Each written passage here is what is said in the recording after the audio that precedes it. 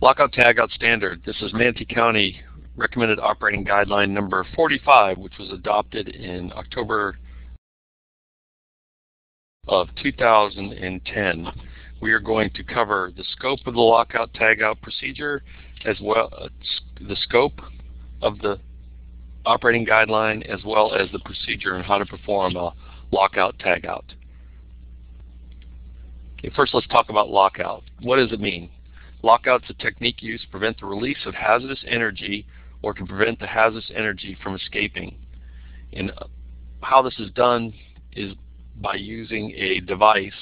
In this case, they're depicting a padlock is placed on the appropriate energy isolating device that is in the off position or close the position. The purpose of the padlock is, is to prevent someone from uh, inadvertently opening a device and activating the energy device while you're either working on the machinery or in our case uh, we have an emergency going on and we have to disconnect the power for some reason. We don't want someone to come up and reactivate the energy source thereby injuring someone or further injuring someone or putting rescuers in jeopardy. Scope of Manatee County ROG 45. The ROG should be used whenever there are personnel working in or around energized electrical sources or any type of stored energy, such as electrical, air pressure, water pressure, spring pressure, hydraulics, or other potential energy sources. This guideline covers the service, maintenance, and energy emergency response to any machinery or equipment in which unexpected energizing or startup could cause injury or further injury to a patient or to themselves as rescuers. At no time shall personnel service remove or perform maintenance or work in an emergency situation on any equipment or machinery until the stored energy source has been bled down, dissipated, turned off, and or blocked, and the machinery has been uh, locked and or tagged out. Lockout and tagout is required for all personnel who may have to operate at an emergency scene if any procedure could involve either patient or rescuer exposure to live electrical parts or exposure to a stored energy source or any machinery or equipment. Step one in the procedure. Whenever a situation is encountered that meets the above qualifications upon arrival at the scene, personnel shall check to see if building, plant personnel, or company personnel have begun the lockout tagout procedure. If they have begun the procedure, add your company lock and or tag to ones already present.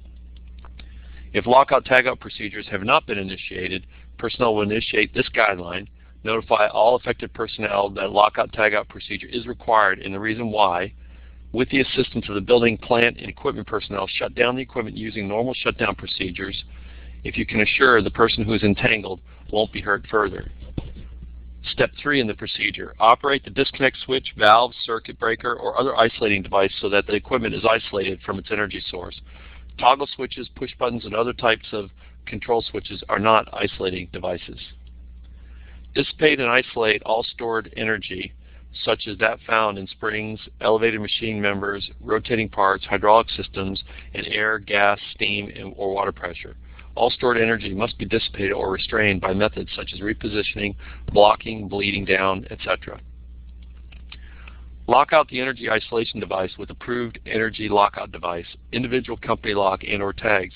If more than one company is working at the same incident, each company shall put their individual lock and or tag on the energy lockout device. Step 6. If it is impossible to use a lock, another positive means of disconnecting the circuit or equipment must be used. Other positive means may include unplugging, disconnecting the conductors, or removing a fuse. A tag must be placed on the plug. Conductors, fuses, breakers, etc. If no positive means can be used, placing a radio-equipped firefighter at the controls to keep the machine equipment from being activated shall be used. Check for zero energy, and that can be done by using a hot stick, looking at the electric meter, and then start up then a startup of the equipment to ensure the equipment is at zero energy if possible. Rescue personnel's safety must come first before rescue can start. Only after the machine equipment has been properly locked, tagged out, shall emergency personnel begin to to remove the entangled trapped patient. Always try and have a representative of the company where the incident is located to assist you with their expertise on the equipment. Number 9 and 10, the key to the lockout tagout device shall remain with the incident commander once the lock has been applied.